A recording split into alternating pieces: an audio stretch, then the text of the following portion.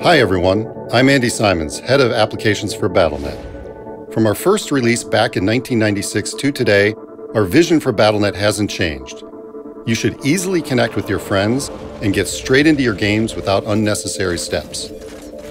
Thanks to feedback from players around the globe and tons of hard work, I'm happy to introduce the next step in that vision the improved Battle.net app.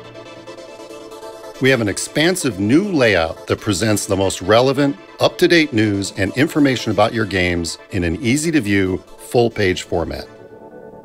You can now customize the main navigation bar so you can pick your favorite games for on the fly access and quickly see which ones you haven't installed or tried yet. With our new social pane, your friends list is visible no matter where you are in the Battle.net app. And thanks to improvements to our real time status updates, you can see exactly what your friends are up to at any given time. Stay on top of incoming messages with the new Notification Center where you can also get updates on your downloads and find other tidbits of information, all in one easy to access location. We've also made improvements to our accessibility features. Now you can navigate most of the app with your keyboard, we've adjusted the color contrast, and we've improved our screen reader support.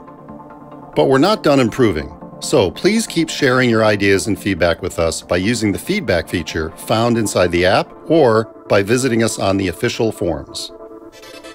We are excited to deliver the new Battle.net app to all of our players, and we hope you enjoy.